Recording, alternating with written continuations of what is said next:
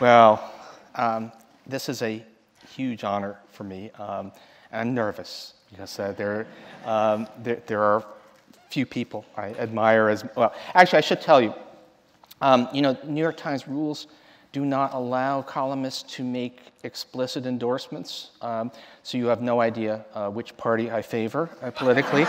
um, and um, it, my attitude towards my honored guest here is, uh, well, I actually wrote, you may have seen a column that was titled Who's Afraid of Nancy Pelosi, um, that had the, uh, the, the blurb, um, the GOP's boogie woman is the greatest speaker of modern times. No. So you have no idea whether I expect. Um, so welcome, welcome, Leader Pelosi. Um, it's, it's a huge honor. Um, there's so much. I, I, think everyone wants to talk about, you know, everyone wants to talk about what's going to happen next month, but, but uh, let's, let's, let's, let's talk history just for a bit to start with, because uh, you had four years uh, so far. We'll see what uh, comes, but four years as Speaker, which were incredibly eventful, productive. What would you consider the, your big achievements of, of those years? Well, thank you, Dr. Krugman. Uh, uh, you call me Nancy, I'll call you Paul. So All right, I'm not sure I can along. bring myself to do that. I'll try. Okay, well, let me first say what an honor it is to be back at the 92nd Street Y to thank Susan Adler, uh, uh, Engel, Susan Engel for her leadership and her hospitality to all of us this evening. Thank you, Susan, for your. Yeah, thanks. And uh, what an honor it is to be with each and every one of you. And I know you share uh, the honor that we all feel to be with Dr. Krugman. He is, uh, uh, how many times have we been on a Sunday night with a Nobel Prize winner in economics yeah. and a person who, on a regular basis, uh, several days a week, uh, gives us hope? he, he speaks from evidence that's refreshing. And, uh, and when he writes, people read. When he speaks, people listen. What it, what it really, um, I, I should be the nervous one, but I'm so in awe of him that I'm just going to have a good time tonight in this dark room. So I don't see too much of what's going on out there, uh, but very eager to hear your questions. Okay, so I think that our crowning achievement of that time was the Affordable Care Act. I think it ranked. It ranked right up there with Social Security, Medicare and Medicaid, the Affordable Care Act, moving us uh, closer uh, to affordable, accessible, quality care, health care uh, for all Americans. And that is our goal, to keep moving in that direction. It was something that had been tried for 100 years, starting with the Republican president, Teddy Roosevelt, over time. Uh, some advances were made with Medicare and Medicaid. I just was with Luci Baines Johnson. She was telling me of the day that her father went to Independence, Missouri to sign Medicare, Medicaid with President Truman, for whom it was a, a, very top priority. But now we went beyond that, and in the Affordable Care Act, with the expansion of Medicaid and the shoring up of the uh, solvency of Medicare, just strengthening uh, the path that we were on. So I consider that without any question because it addresses the financial instability of America's families. It's an economic issue, financial issue for them, as well, well of course, a health issue. And I want to say that the Republicans tried very hard over and over, scores of, of attempts to undermine it when President Obama was president, but when, and they had the majority but we were able to sustain any veto that might be necessary. And then when they, um, uh, uh, when President. Yep. Now I'm going to be very respectful. when President Trump took office, they um, then tried to repeal it. And they've harmed it, but they have not repealed it. And you know why? Because of the American people. American people. 10,000 events, Paul, were held around the country by the groups, uh, the little lobbyists, the children coming in their uh, wheelchairs with pre existing conditions to fight what they were trying to do, and especially when they passed their tax scam, uh, which, uh, which repealed the individual mandate, which gave them what they thought to be their rationalization anyway, to uh, repeal the pre-existing condition benefit. Uh, people have been outraged by that. But 10,000 events, sit-ins, uh, district offices in the uh, capital of the United States, at the uh, town hall meetings, press conferences, every kind of venue, 10,000. So I feel very um, confident that we will be able to contain the damage and then hopefully win and uh, strengthen the Affordable Care Act. Do some changes that we would have done ourselves, you know, with time going by, but also to uh, erase some of the damage that they, that they did. I mean, this is, uh, uh Martin Luther King said, of all the inequalities and injustices, the one about uh, injustice of healthcare is the most uh, unconscionable because people can die. People can die. And so in any event, we consider that not an issue, but a, an ethic a, moral responsibility. So I'm going to ask, let me get give, give a little voice to my inner nerd here. Um, the, uh, the thing that has been really impressive about the ACA is that it, um, I mean, I, you famously, infamously totally out of context have been quoted, we would have to pass it for people to see what was in it, by which you meant that, that people wouldn't really appreciate it until it was in Well, but should we saw what the Senate would do. That was yes. before the Senate acted, too. That's right. But the, uh, but the point is now is it has, I, I don't think I fully appreciated just how cleverly it was put together so as to be robust to sabotage. Uh, we've seen that, that all of these uh, despite everything that the administration that wants it to fail has thrown at it, um, that, that it's still standing a little bit damaged, but not nearly as much as some feared. And I'm just curious about the process. How did, how did such a technically smart, you know, given, given, given with the way what we see about policymaking, and uh, um, especially now, but just in general, uh, you know, it, it's, it's generally speaking worse than you can possibly imagine. But here's this really intelligent, well-designed. How did that happen? What was the interaction between the political people and the policy experts? How did that, how did you make that work? Well, something that you base your writings on all the time, evidence, yeah. science, facts, truth. Uh, so we evaluated what the challenge would be. And this is, again, a challenge that had been undertaken decade after decade after decade. And uh, in our house, I'll speak to our house, it was about the committees of three committees of jurisdiction, Ways and Means, the funding uh, uh, piece of it, the uh, uh, education and what we called labor, which we will call that again, uh, labor committee, which had the, a, a piece of the jurisdiction, and the Energy and Commerce Committee, despite its name, healthcare is a part of its jurisdiction as well. And so the expertise that we had there, Henry Waxman as chairman, uh, uh, for part Charlie Rangel, and then Carl, um, uh, Chairman Levin after him, and then uh, George Miller on education labor. They, their staffs really, and they really knew the territory. The uh, intellectual resource that was in the White House with President Obama was a tremendous resource, as well as, of course, the leadership and the rest in the Senate. So it was a question of how do, what is the goal? It, you know, it was a funny thing when we tried to talk about what do we call this? The word that meant everything to all of us was affordable. So while it, Medicare is probably the best name for any right. program for care, but since that was taken, uh, the affordable ACA, the Affordable Care Act, because that was the point of it. If it's not affordable, it's not accessible, and that was our goal. And so we had uh, great intellectual resources to uh, advance initiatives, but also competing initiatives. I myself would have liked to have had a public option in there. Right. We had it in the House. We couldn't prevail uh, uh in the full, full Congress. So, uh, so there were some uh, the things we didn't, we didn't get, uh, and, and there's some things we know that we have to do. But it was based on knowledge. And at one point, someone told me who was in a position to know and who had sway in the administration that the House bill is as close to a perfect bill as you can come, which is an impo- no bills are perfect or even close.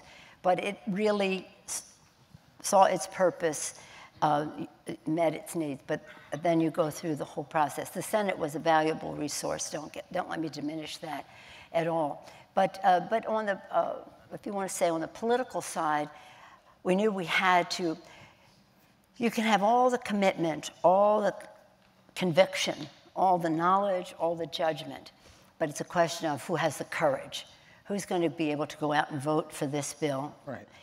In light of the fact that there was an enormously well funded campaign to undermine it from the start. Big moneyed interests, interests that do not believe in a public role. They didn't believe in Medicare. Some of them still say Medicare should wither on the vine. And those people are in the Congress of the United States on the other side of the aisle. But big money undermining it. And, uh, and it was about that courage. So I'll just tell you this story because you asked a specific question when um, events did not go the way we wanted them to go in Massachusetts, you remember, uh, after the passing of uh, Senator Kennedy, and by the way, in life and beyond, Senator Kennedy was a major force in this legislation, let me say. He had been trying to do this for a very long time. But anyway, when he, when he passed, and then, uh, well, a Republican won in Massachusetts, I don't know how much politics we can talk here, but we'll see. Well, you invited me, so you know something's going to Yeah, be political. right. But anyway, here's the thing. So the press said to me, What are you going to do now? You've lost that vote. I said, This, we consider this the responsibility of a generation. We will not let anything stand in the way of our passing the Affordable Care Act. If there's a fence, we will go up and push open the gate. If that doesn't work, we'll climb the fence.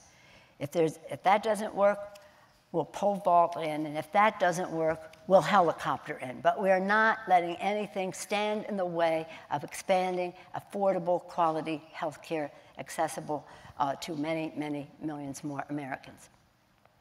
Okay. Because they thought it was dead then, right?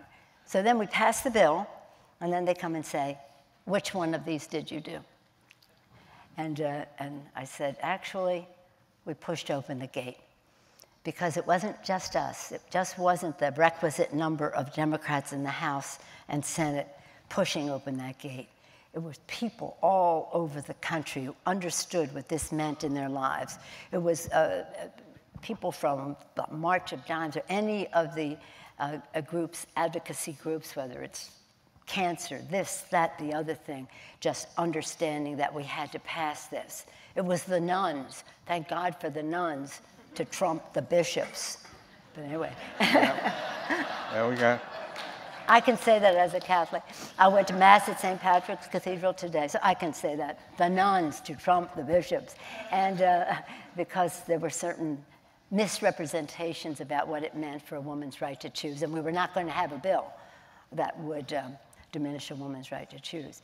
So, in any event, uh, it was inside maneuvering, knowledge of the issue, um, understanding of the what it takes for some people to vote for something, Yeah. and the outside mobilization, which was outs- absolutely essential. And that's that same outside mobilization which has saved the Affordable Care Act as we go along.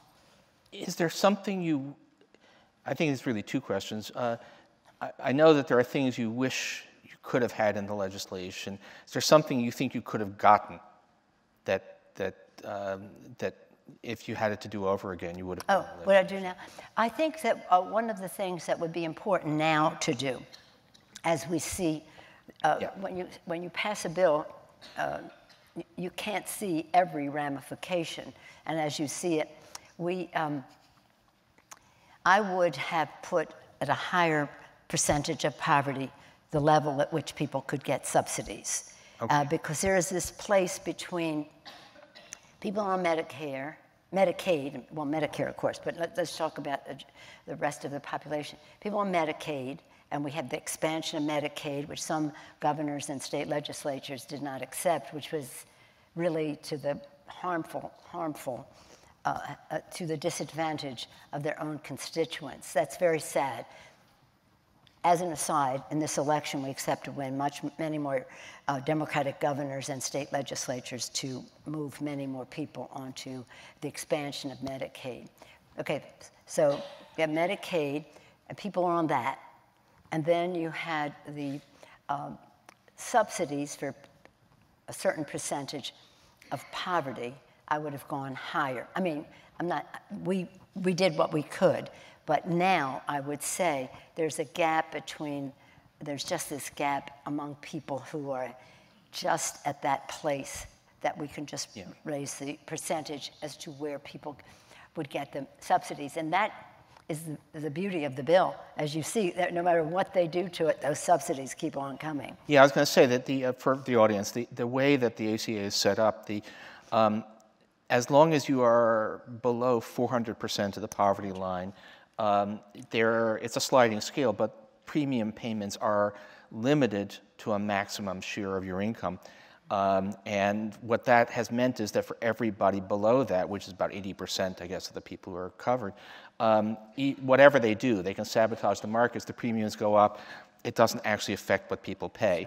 But there's that other 20% who are not people who are super rich, they're just people who are just a little bit too high, and th- those are the people who've been exposed to the premium increases. But it's an amazing, that's, this is why it hasn't had a death spiral, despite everything Trump has been able to do. It's uh, because that structure of those subsidies. Was there a person who said, let's structure the subsidies, this will protect us against death spiral, or was it just sort of emerged? Emer- I'm, No, no, no. Well, the subsidies were, I mean, you, you know the subject very well. Uh, when you're looking at how you're going to expand, uh, maintaining uh, the uh, fact that many people uh, receive their benefits from their employer, you know, recognizing what the reality. So it's not a tabula rasa where you say, okay, we're a new country, how would we do it? Would we do single payer? Would we do public option? Would we do, no, it's a system that has a place where some people have a comfort level with how they get uh, their insurance, respecting that, their coverage, respecting that. Uh, we knew that subsidies had to be central Right. to the legislation for it to be affordable. Affordable. That is the, you know, the, Yeah. the The structure of them is just, is just turns out to be extremely clever. Uh, It is, Uh, and I, I, I compliment all of the people who worked on it and all of the people who, who voted for it as well. Okay, let me ask you what I think is a less happy, I, but maybe you'll disagree with me on this. Um, one of the other really big achievements was financial reform. Yes.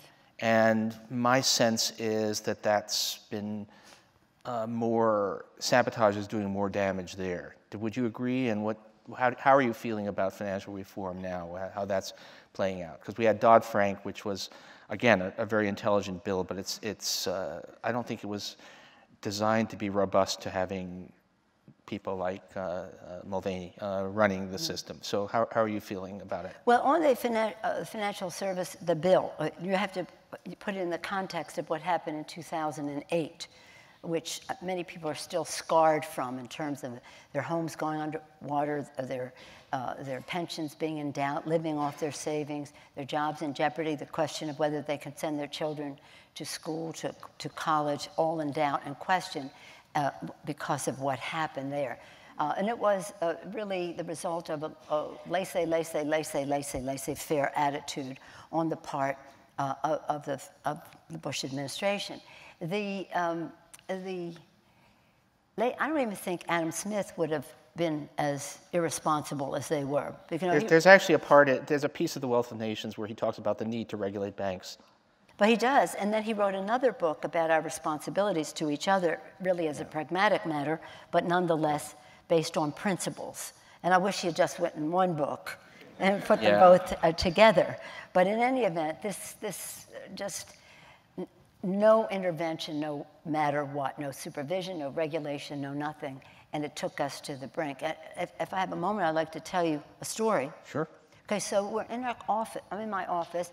Uh, this is uh, September what 18th, 2008, and I, I I'm there with the uh, leadership, the Democratic leadership in the Speaker's office, and I said to them, you know, usually the Secretary of the Treasury comes and gives us a, gives me a briefing on the markets on a regular basis. I haven't seen him in a few weeks, and at that time it was Lehman, Merrill Lynch, and that very day or the day before, but we were finding out about it that day, uh, AIG.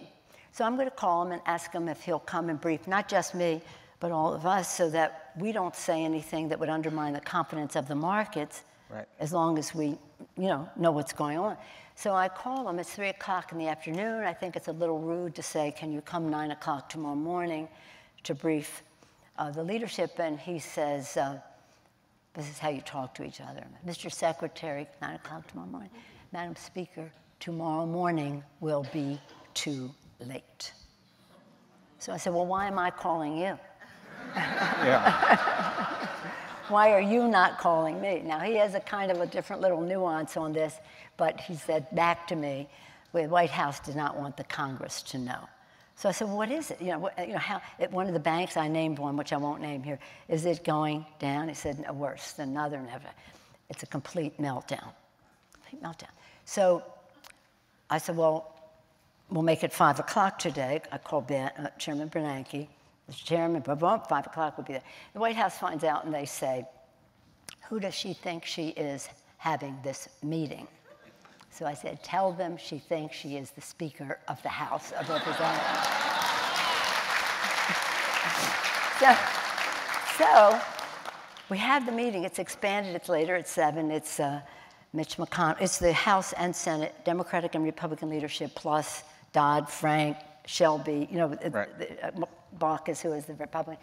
A a little bit expanded meeting. Uh, Chairman Bernanke, Secretary Paulson. Oh, by the way, for whom I have the greatest respect. And uh, Chris Cox, who was our former colleague, who was head of the SEC at the time.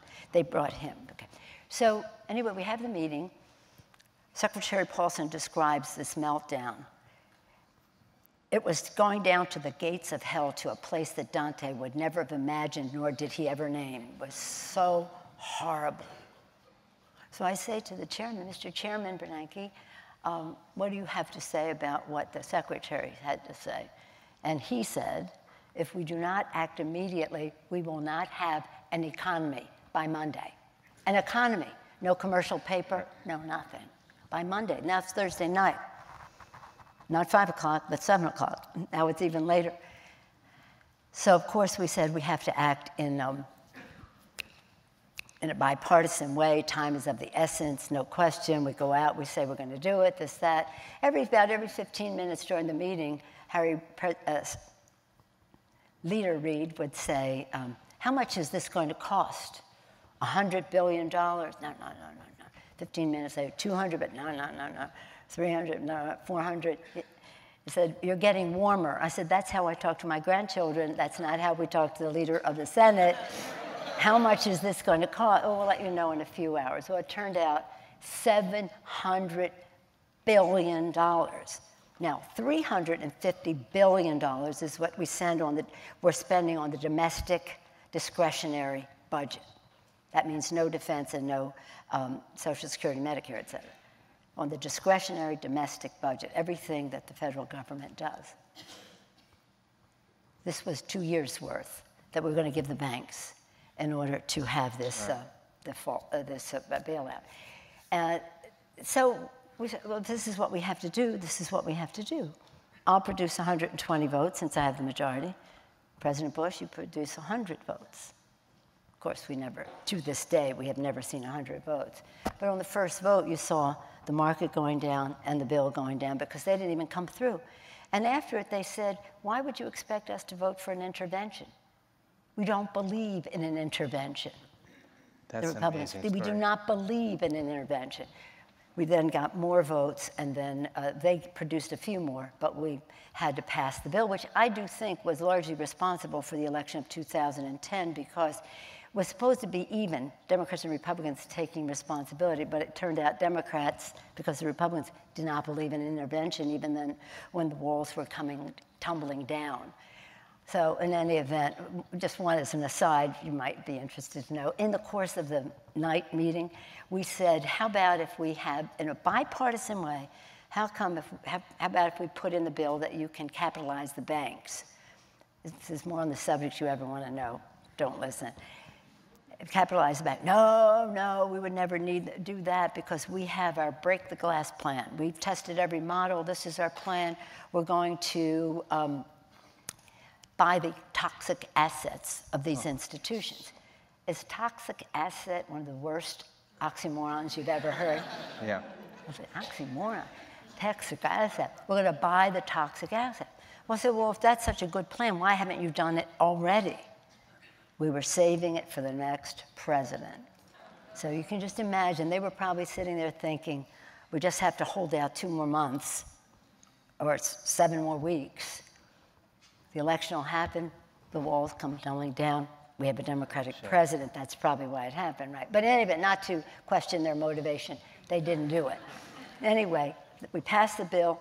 I said to them, I'm not going to require, prescribe that you capitalize the banks. I'm not even going to say that you have to do it with 50% of the money, but I'm going to give you the authority in the bill to capitalize the banks. Like three weeks later, they capitalized the banks. Yeah. After we then eventually passed the bill, then they capitalized the bank. So people were scarred by all of that. So therefore, we passed Dodd Frank with the uh, Volcker rule, which is very important in terms of uh, the, the, stability of the banks and the rest. And um, now, when the Republicans came in, they were trying all during the uh, Obama administration when they had the majority, but now with uh, White House and uh, House and Senate, uh, they have chipped away at it in a major way. And we just have to make sure that public understands this is about their own financial security. You cannot, it's amazing that they would want to go right back to the situation that got us in the fix in the first place. And the taxpayer bailed out, although we got all of our money back with interest because that's the way we wrote it in the bill. Uh, and um, uh, uh Secretary Paulson was uh, very much in favor of that. But we can't let them do this. And I have expressed my displeasure, even with the Fed, for weakening, in my view, the Volcker rule. They don't think they did. They said it's a question of interpretation. They don't think they did. But I don't know what the next step is, even at the Fed. Uh, and I'm a big believer in the independence of the Fed. Uh, but I think we have to make sure that the intent of Congress is very clear, and we may have to do that again. Okay, that's amazing story, and is there more on the subject than you ever wanted to know? this is something of a rhetorical question. What do you, what, how, how well do you think the current crew would manage it if something like this happened again? I'm sorry? How do you think uh, the current management would, would deal with it if something like that happened again? Because uh, there's no Henry Paulson in this, one, in this administration. sorry, okay. I, that wasn't really a question. Um, uh, oh, that's scary. It really okay. is scary. Okay, I'm going to. Um, and by the way, President, President Bush was very, trying very hard to get the Republicans to vote for this. He knew it. He said, of course they'll vote for it. Yeah. Of course they'll vote for it. yes. Uh, one of those. President Bush looks better in hindsight, although probably too good in hindsight. But anyway. Um, well, the president that I quote the most in the campaign is Ronald Reagan. Would you have ever guessed that? If you ask me, I'll tell you why. Well, that, I, what, tell, tell me. let's, let's, let's hear it. That's we can't, can't not. Well, the reason I quote President Reagan is because as I go across the country, I see with great heartbreak, but reality, uh, what the current president and the Republicans in the Congress, and really Republicans across the country, 80% of them support what President Trump is doing on immigration. And it's, it's heartbreaking to see the ads on TV that it, it, I, don't, I don't even go into it. You, you know. So, I mean, they're snatching babies out of the arms of their mothers. They're depriving dreamers of an opportunity. But that's, that's the visible part of it. What they're doing, these ads on TV, are just terrible. But in any event, why I'll quote Ronald Reagan. Ronald Reagan, President Ronald Reagan, he said this This is the last speech I will make as President of the United States. How's that for a headline? Last speech. And I want to deliver a message to the country I love.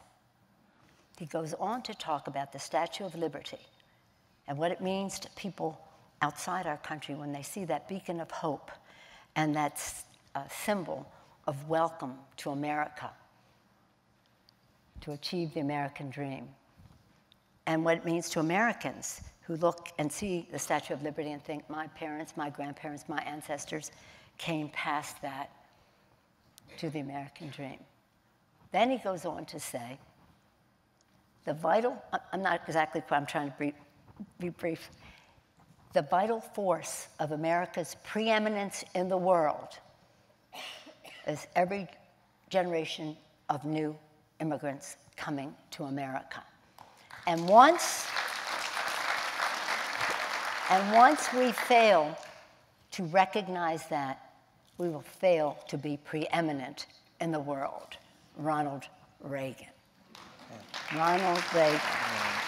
And, and he, he um, Ronald Reagan, George Herbert Walker Bush, I should say President Ronald Reagan, President George Herbert Walker, President Bill Clinton, President George Bush, George W. Bush, great on immigration. He couldn't persuade his party, but, and President Barack Obama all understood that when newcomers come to our country with their hope, their optimism, their determination to make the future better for their families, their courage, those are American traits, and the newcomers make America more American. They constantly revitalize our country until now.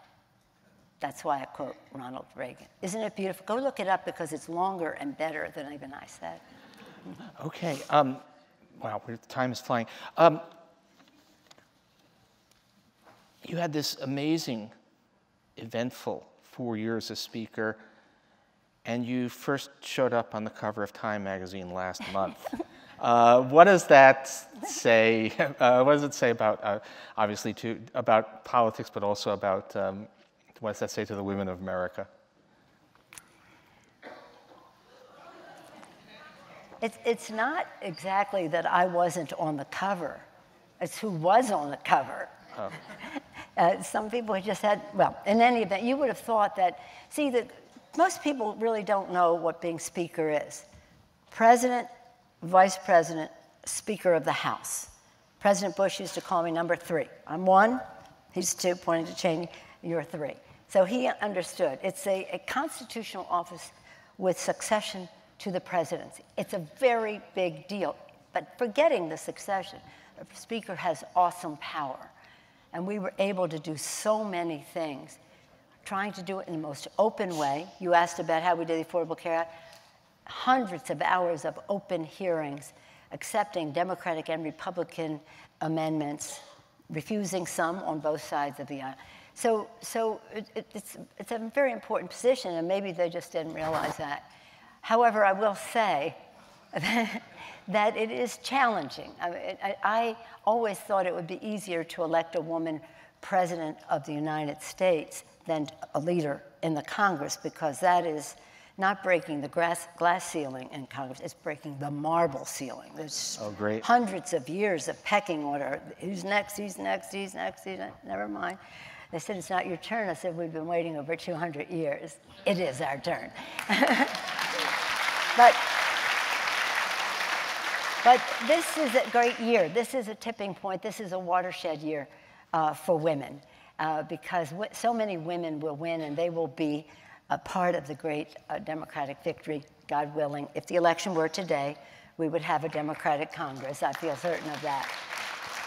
And, and I say to women, and I, I had these meetings in uh, Pennsylvania, because we're going to elect four women to the Congress. They, they've only had one woman in the whole history, over 200 years of history in Pennsylvania, one woman served in the Congress of the United States.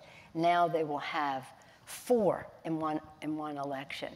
Oh, no, they've had two. They've had, I think they've one or two, but in any event, they'll have four in one election. So we have, uh, I just say to young women, or women, but young into politics. I, I after my five children were grown, I, um, I ran for Congress. So I want younger women to run so that people with family balancing home and work are um, seeing someone who shares their challenges, et cetera, making decisions on their behalf in Washington. But I say to women, know your power, know your purpose. Why do you want to run? Know your subject, know how you're going to get it done, connect, listen to your constituents, just connect. It, connection is everything. You can have the best ideas and vision and all, plans and all the rest. If you don't connect, that's not a winning formula for an election. But know your power. And I know this as an absolute fact. You may think some of the things I've said are opinion. This is an absolute fact. If we reduce the role of money in politics and increase the level of civility in politics, we will elect many more women, minorities, young people, and the rest to the Congress of the United States. And nothing is more wholesome to our political system and our governance than the increased participation of women and women in the leadership. Now that applies to the military, to corporate America, to academic world. It applies all over. But it is absolutely essential. And this year will make a tremendous difference. But there's no question, there, there is something out there that is perhaps unspoken. In my case, very spoken. I'm the biggest target, right? They come after me. Yeah. And I say they just do because I'm so effective. I'm an effective legislator, I'm an effective political force, and the rest. And I say that with immodesty because you know why? I want young women and women who want to be involved in politics to be confident and just put forth why they think. Because none of us is indispensable, but we have to show why we think we can do the job uh, in a very important way. And it's very important to have women at the table. Okay. we, I've just proved that I'm really in, unsuited for anything like the work you've done because my time budgeting has been terrible here. Oh. Um, but the, um, oh. let me ask. Um, oh, that's the time. I thought that was the, the minutes we had left. No, but we're uh, we want to throw this open to the audience pretty soon. But let me ask. Um, so I let me skip. Uh, imagine uh, that it's, uh, it's, it's January 2021, and uh, the Democrats control uh, both houses, and President I don't know, Michael Avenatti. Uh, I, I, checked, Taylor Swift will be too young. Um, so, but anyway, a Democratic president, uh, progressive Democratic president, what, what would be at the top of your agenda to do at that point? What will Democrats' agenda, whether it's you or someone else? But well, I I have an agenda right now for 2019. Sure, I, just take this enough. one uh, Congress at a time, and I do believe when we go in now, we have said what are Democrats for? We are for the people, for lowering health care costs by reducing the price of prescription drugs. That's one. Two, by lift, increasing paychecks by building the infrastructure uh, of America, lower cost, bigger paychecks, cleaner government. I think it will be, but it's up to the caucus. The first uh, HR 1, House Resolution 1, will be campaign finance reform and legislation that relates to that. Um, and so that would be, uh, that would be uh, the three things that we, we think we could do in a bipartisan way because the president says he's for reducing the cost of prescription drugs. He said he was going to negotiate like crazy for them. I think like crazy meant not at all. But no, but the day he made his announcement on prescription drugs, he completely pulled his punch. And don't take it from me, take it from the stock market. The pharma stocks went through the roof yeah. because the president pulled his punch. So, but anyway, we think we could, in a bipartisan, uh, uh, infrastructure has always been nonpartisan, so we think we could pass that. And we think with public opinion, we could pass uh, the campaign finance reform. But the public, President Lincoln, another Republican president, that makes two, uh, they, um, they, um, he said public sentiment is everything. With it, you can accomplish almost anything. Without it, practically nothing. And so we think with public opinion uh, that the uh, idea that people's voices are just as strong any, as anyone else's and that special interests do not override the public interest. So that would be three. And then we, prompt, we asked the speaker for common sense uh, legislation for uh, sensible background checks. And we know there's bipartisan support for that, so that is something that we would do In early. In case people missed that, background checks for gun purchases. For gun purchase, oh yeah. So, gun safety background checks. This is very, very important uh, in our country, and we're just not ever stopping until we get uh, uh, increase that safety issue in our country. Have, it has bipartisan support in the Congress now. If they gave us a vote, I think we would win. Uh, but we certainly asked the Speaker to do it. He didn't. Maybe he will in lame duck. I hope so. Every day counts. But uh, we would have uh, a gun violence prevention background check bill that would pass the, the House of Representatives. And the other thing that we've asked him for is legislation to protect the dreamers. And we, that's something that we should be able to do in a bipartisan way very quickly. The bigger issue of comprehensive immigration reform, I think, would have bipartisan support, but I'm just talking about right up front. Right. Another issue on our agenda is something called the Equality Act, which is about equality for the LGBTQ community in our country. Is It, we, it makes uh, protections for the community part of the Civil Rights Act. Right now, it's women, minorities, it adds uh, uh, that important uh, participant community uh, to the. Okay, I'm. I'm that's uh, David Cicilline's bill. That, so that's six, for starters. All right. Um, I'm supposed to, but I, am going to throw in one more question, and I believe I'm going to be getting questions from the audience passed up here, I think. Um, but this, so forgive me, and I, we didn't talk about that, but I, I, asked your staff if it was okay to ask this. And I, um, friends of mine want to know, do you decompress, and if so, what do you do? It's, it's, a, it's a personal, just, just this amazing person and all these things, but you seem to be the completely nonstop. What do you do? Um, uh, to, to get away from it for an hour or two? After I read your column? Oh, well. That's yeah. the most refreshing thing of all. Uh, I, um, well, of course, my family, my five children, my, my, grandchildren, the rest, that's the strength for all of us. We would all say it's our motivation, it's our relaxation, it's our pleasure, uh, it's our, our, challenge to make sure uh, we uh, do the right thing by all of that. So that's, that's a source of strength to me. For my whole life, I mean, let me just say, I don't, let me say my adult life. Every single day, I have done the New York Times crossword puzzle. All right. and that is it. I mean, like on a Sunday, don't come near me until I do the puzzle because I'm timing myself and I'm in a zone and I'm focusing on it. My family will tell you, oh my gosh, she's doing the puzzle. If anybody comes near me, it's like, I'm in my zone. so that is a real um, a uh, pleasure for me. You know? All right, that's, uh, that's a. Oh, okay. and of course, I read books and I go to, but I'm just talking about it every single day. All right, okay, I'm, I'm going to. Um, Even when they write terrible articles about me. Oh.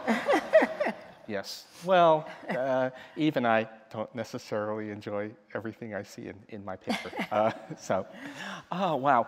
Um, all right, let me, let me throw these. Uh, I have some questions for you.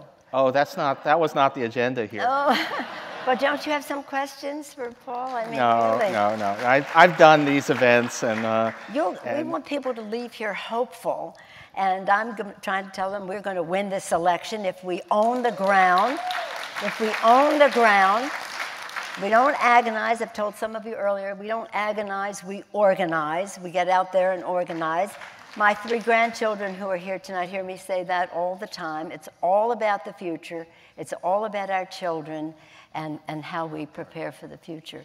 So, uh, uh so uh, no. perhaps you have some. I, I'm not. Uh, no, I'm not. I'm not going to. Uh, we'll read about it. You'll read about it. I, God knows that. Uh, um, so these are, we're not going to get through anywhere uh, through these things either. Let me ask. Uh, so this, ask what, them all, and I'll answer them all at once. Right. you're, you're, probably organized enough in your mind to do that. But let, let me. ask. uh, this this actually seems quite urgent. Um, when the Democrats win back the House, um, if Republicans control the Senate, um, which you know, if you believe the polling that split outcome looks like a reasonably plausible um, thing. Um, what can the House do to protect the independence of the Mueller investigation? It's a big, oh, that's a serious question. That's a very serious question. What we have been trying all along to have bipartisan support for legislation that would say uh, that, that uh, any counsel, I'm not talking about just this, any counsel cannot be fired without cause, and then if the person is fired, then there'd be a three judge, an appeal process to review if that cause was justified, and that any replacement could not be made by anybody um, that was not approved uh, by, by the Senate. But, but anyway, it has protections in it. But most important, to preserve the documentation, to preserve everything that he has collected. Because that is, that is essential. Some people are concerned that they might destroy some of the, those documents, and we have to make sure they don't. But um, I'm still hopeful about the United States Senate. Chuck Schumer's doing a fabulous job keeping us all focused on healthcare, healthcare, healthcare, while other people are trying to, uh, the, on the other side, are trying to exploit uh, disgraceful performance of the Republicans in the Senate on, on um, the Supreme Court nomination was a disgrace, but they're selling it as a plus uh, to their market. But we have to not talk about that. We have to talk about health care, lower cost, bigger paychecks, cleaner government. And I think that um, it's three and a half weeks away. It's a long time. Yeah. I, okay. Um, By the way, I have just, don't tell anybody I told you this. right. You okay with that? I have asked for a Freedom of Information Act on all the things that happened with the Supreme Court.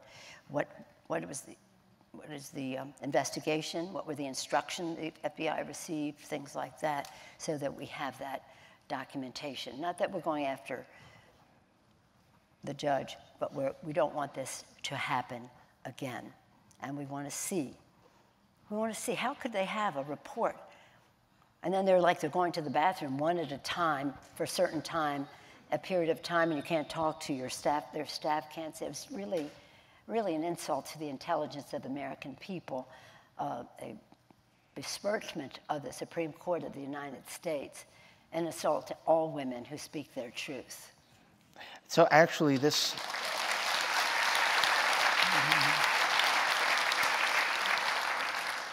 Um, this seems relevant given what you just said. Uh, has Mitch McConnell permanently broken congressional norms? And I, I, suspect you won't go for this formulation of it, but should Democrats get even when they take back power in January? Well, I'm not a, I'm not a subscriber to the Pound of Flesh Club, which we do have in our caucus and in our party. I do think that this election is bigger than Democrats and Republicans. This is about the United States of America. Uh, so much is at stake. Uh, these people, with this nomination even, uh, are undermining the oath of office they take to protect and defend the Constitution of the United States. Our founders, in their wisdom, had a constitution that had three co equal branches of government. What did they do? Be a rubber stamp. First Amendment, the, excuse me, the first article, Article 1, the legislative branch, with all the powers listed in the Constitution. What do they make Article 1, the legislative branch? A rubber stamp for the second branch of government, the executive branch. And by confirming an appointment to the Supreme Court who said the president, the executive branch, is above the law, undermining the whole thing. So I, I, um, I think that we have to, as I said, we don't agonize, we organize for helping the American people. Because this justice will decide on the intent of Congress on certain legislation. Yeah. That's a ridiculous power to give the Supreme Court to determine what the intent of Congress is. And so if they're going to make a judgment on what we do, we have to have total clarity about what we do when it comes to everything a woman's right to choose, gay marriage. Well, we didn't pass a marriage equality, that was in the courts, but hopefully that will be protected, but we passed other LGBTQ legislation, whether, it because, whether it's about immigration, whether it's about gun safety, whether it's about climate. We didn't even talk about climate. Uh, I was talking to Ed Markey when I was coming over here talking about wanting to establish, again, a select committee on climate and, and with the storms and the rest, increased interest in it. And he said, remember that what we said was we wanted to uh, pass an overwhelming number of jobs in order to protect all of our, our society. I mean, this is, this is about prosperity. As your former mentor yes. won the Nobel Prize showing the relationship between environment and prosperity.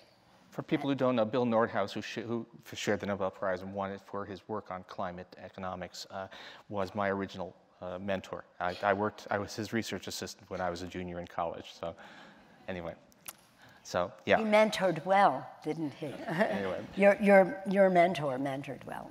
But, um, uh, so this is. Um, the, the so anyway, I'm, I, I think that, that we owe the American people to be there for them, for, the, for their financial security, respecting the dignity and worth of every person in our country.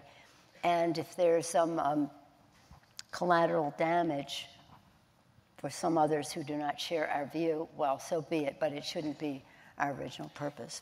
This is kind of related, and it, the question was if the House and Senate are split after the election, but I think this is a question even, even if they are not. Uh, uh, where do you see opportun opportunities for common ground? Is there any bipartisan stuff that? You know, I, I, I, named some of them before in terms of uh, infrastructure, building the infrastructure of America. Imagine building infrastructure from sea to shining sea, whether it's uh, surface transportation, yeah, but water systems, broadband all over our country, schools, housing, all kinds of infrastructure that creates good paying jobs, building but also build the economy all the way. And when you build all of that across the country, care and feeding follows. Issues that relate to the health and well being of people, the education of children. It's, it's, it's really a big uh, issue of prosperity and bigger paychecks for America. I think we can find common ground to do that. Okay.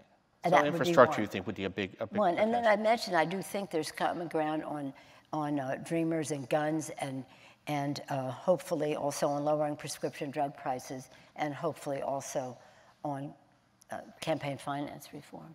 Okay, I'm going to read you. This is, I'm, I'm not Okay, I'll, I'll, read it to you. I'll, I'll, say I don't fully agree with the premise of the question, but uh, the Medicare, Medicaid, and Social Security currently account for over 50% of the federal budget. Uh, with rising healthcare costs and aging population, the cost of these programs is unsustainable. Um, how much of a priority is fixing this problem, and how would you do so? Well, I think it's a fair question because it is, uh, it is about uh, obviously the promise that is made uh, to people in our country and anything that involves that many people and their well being and their trust in it, as well as the amount of money involved, uh, we need to subject uh, to scrutiny from time to time, as President Reagan and President and, and Speaker uh, Speaker O'Neill did. And uh, the if we are going to so you're referring to the, the Social Security reform that took place in, in uh, the, the Greenspan Commission, yeah. although yeah, he didn't really do it, but yes, okay we don't the Social Security was, was saved for, although for I think he's a lovely decades. person. We don't count it that way. But anyway, the, um, uh, so, and what we did in the Affordable Care Act was to prolong the solvency of Medicare. But if you, let me just uh, uh, separate from the specifics of the question in this way. If we are going to address the issue of the solvency of Social Security, of Medicare, and Medicaid, we have to do it believing in those systems, not using them as an excuse to say, well, we can't, we have got to give a big tax break to the high. This is what they did. Can you believe this? $2 trillion tax scam, $1.45 trillion in tax breaks to corporations, the top 1% getting 83% of the benefits. Top 1% of people in our country getting 83% of the benefits of the tax thing. Then they said, of course, with interest, this will be $2 trillion. Then they said, we've got to cut someplace. So the president put out his budget and said 1.4 trillion out of Medicaid, half a trillion out of Medicare. Then he went on to food stamps and other things like that. So they, they, um, they can't consider it their ATM machine right. to, to rationalize tax cuts at the high end, which, by the way, they say pays for themselves. Never happens. Never happens. Don't take it from me. Uh, even those who've worked on the supply side economics, uh, that gospel, uh, they have said to us anyone who tells you these tax cuts pay for themselves, it's not true, it's nonsense, it's BS, spelled out fully. So, so, it, so in, in any event, are there things that we should always subject to scrutiny to see how we can do better, recognizing the reality of life that there are many more people retiring, living longer, and fewer percentage of people in the workforce. But that doesn't mean, I mean, actually, these uh, trust funds have been a bulwark Yeah. of funds at, at, in terms of, of, the, um, of the budget. But I do believe that what we do has to uh, strengthen the institutions and not be predicated on this. This is what the Republican view of Medicare is it should wither on the vine. How do we do that? We, um, in the Speaker Ryan's budget that he put forth, and which is his goal, if, the, if, he, if, if he were to be there, or at least he wants the other Republicans to do it, is to take away the guarantee of Medicare and make it a voucher, voucherize it. When you don't have a guarantee, you ain't got no Medicare, because Medicare is a guarantee. And so he wants to voucherize that, block grant Medicaid, make it very hard uh, for people who defend. And by the way, on Medicaid, they're taking 1.4 trillion dollars out of the president's budget, out of Medicaid in the president's budget.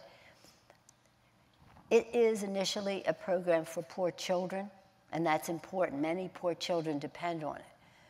But probably about 60% of the money that is spent on long term care for seniors, it's a middle income benefit, Yeah. comes from Medicaid. So when people see what this means to their families, they have a different view about uh, whether we should use it as a piggy bank for tax cuts uh, for the rich and for corporations. And, Yeah, one of the things that has surprised me is that uh, Medicaid is surprisingly popular in polling. You know that I thought that you might have thought that people would think of it as a poor people's program, but that and they'd be against it, but they're not. It has almost as much support according to the polling as, as Medicare. Uh, so I thought that was interesting. Uh, which actually I'm going to bring back one of my questions I didn't get to ask because it seems relevant here. Um, it's been striking also that this, the Tax Cuts and Jobs Act, uh, the Trump tax cut, is not popular. It has remained, and that's, that has come as a surprise to those of us who remember the Bush tax cuts, which were also very heavily loaded towards upper income, but, but were broadly quite popular because people looked at the little bit they got and they saw that and they did. So, what do you think has made the difference this time? One of the things that they, uh, uh, well, first of all, uh, this is really blatant. When you have a tax plan that says, well, we're going to have some, uh, something, a little something for the middle class, but that's temporary, but we're going to have permanent uh, for corporate America and the rest. That already they said to the middle class, you're second class uh, to us. So that, th- th- there was so, so little, and, and when I get criticized for saying it was crumbs, I said it was crumbs from the banquet table that they were giving to other people.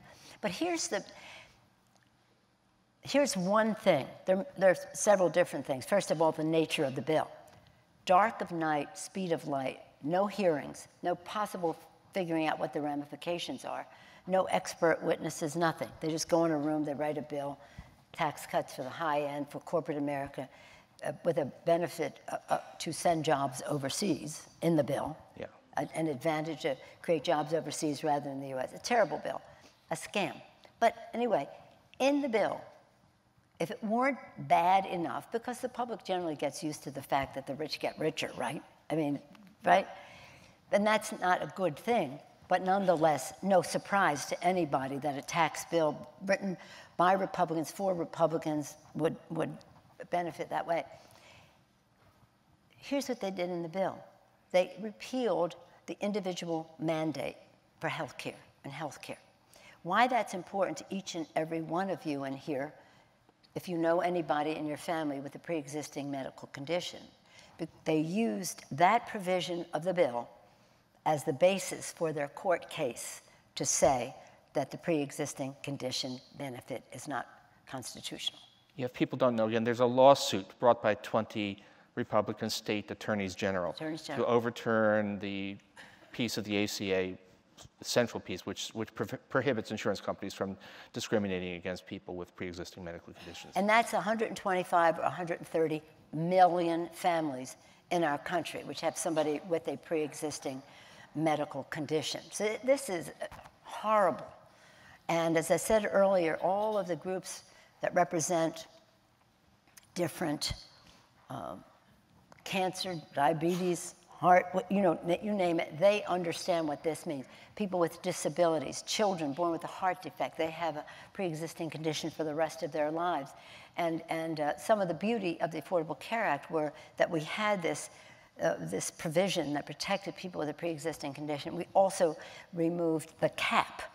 So that means that you, you, once you've reached a certain amount, the insurance companies can say, it's over for you. That can be for some people who are two years old if they have a number of, yeah. of uh, uh, procedures. And so it, it's a terrible thing. But anyway, they don't believe in a public role. And that's really what people have to understand. They do not believe in a public role. So Medicare should wither on the vine, Medicaid should be block grant, pre existing condition, forget about it. Uh, it just, it, the list goes on and on. But um, uh, in that regard, what is the normal thing when a law, which this is, is, a, is um, um, challenged, as this is being by those attorneys general? It is the role of the Justice Department to defend the law of the land.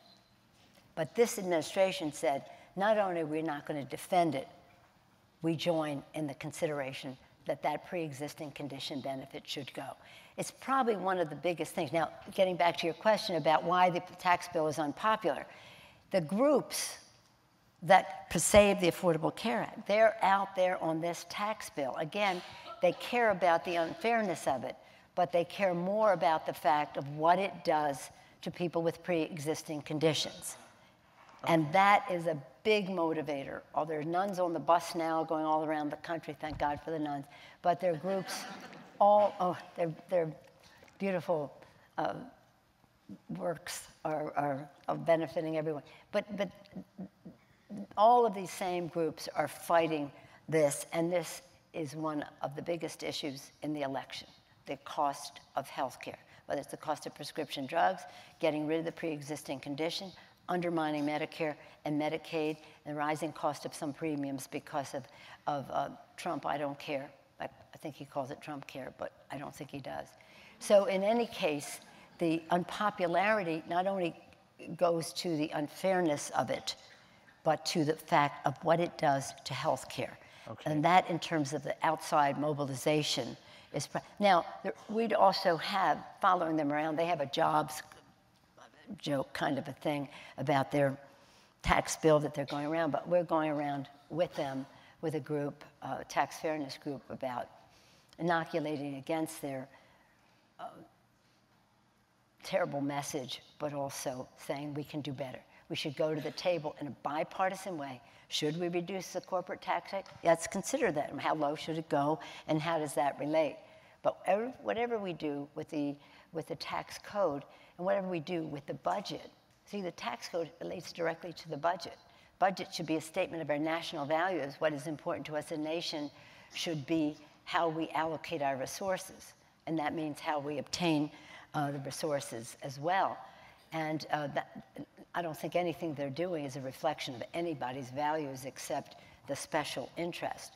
But having said that, the, um, uh, the, the groups know the impact on the budget opportunities, the opportunity cost of these uh, tax cuts. And that is why I think it's less popular uh, than what President um, uh, Bush did, as harmful as that was uh, to our budget. So we're really out of time, but I've got to give you the one last question. Uh, is it about politics? It is about politics. All right, now we. And it's, it's, and I need to say this is not my question because I probably am not allowed to ask this, but someone did ask. Uh, besides donations and phone banks, what is the most effective way that voters can ensure you become Speaker of the House again? Oh, uh, besides what?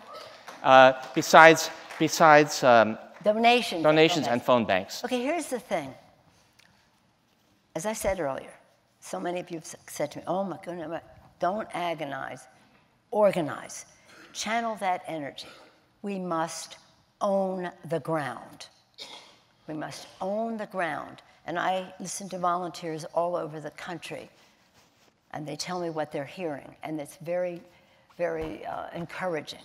People are excited, they're ready to vote, this or that. But you, you, until they do, We don't have a victory, we just have a vision. A vision without a plan is a fantasy, a vision with a plan is a victory. And so the plan is all of you, just please volunteer or encourage others to do if you can, or even by phoning, because that is, that is what will make all the difference in the world owning the ground. Every step I say to the volunteers, you are our VIPs, volunteers in politics. You will make the difference. The fate of the nation is riding on people knocking on doors, making calls. And every step they take, every door they knock, every phone you make, every sign you plant, every postcard you send, send takes us closer uh, to taking our country to a better place. A place where when we win, we will have openness and transparency in how we run the Congress, as we did before, but very different from the way it is now. We will have respect for bipartisanship. Some Democrats don't like me saying that, but where we can find common ground, we have a responsibility to seek it. Where we can't, as Jefferson said, stand like a rock. Stand like a rock where you can't find your common ground. And we will have honor the vows of our founders when they talked about e pluribus unum, from many one, from many one. They couldn't possibly imagine how many we would become or how different we would be from each other. But they knew that we had to be, had that oneness about the United States of America. This is, this is the greatest country that ever existed in the history of the world. And yet we have one in five children in America who lives in poverty in our country. That's my motivation uh, to be in politics, whatever your why is. Just get out there and, and own the ground. I do think at the election today we would win. I do not accept the fact that we are not going to win the Senate. Uh, I think we just have to keep working, and the work we do to win the House will help with the Senate as well. But nothing less than the fate of the nation is riding. It's not about Democrats or Republicans. That would be the least of it.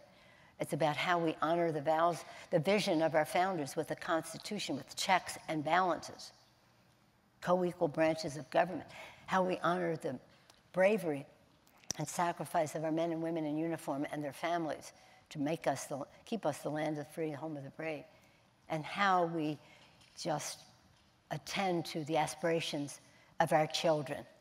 Our children, our children, our children. Elections are about the future and how we, win, how we conduct the election, how we conduct ourselves when we win, uh, so that we can responsibly, again, uh, have our children grow up in a country uh, that is uh, worthy of the, of the, vision and sacrifice of those uh, who went before and the aspirations of those children. So if you can, just tell a friend, get out there. And if you live in a district that is highly democratic, call a friend who lives some other place or go visit them and have a buddy system and go door to door. I'm just telling you, if I just may say, these elections are very close. People ask me, is it a wave or is it a tsunami? I said, in either case, it's many drops of water. And these elections are that close. There are many close elections. Think of the Olympics. One second, gold, silver, bronze, happy to be an Olympian.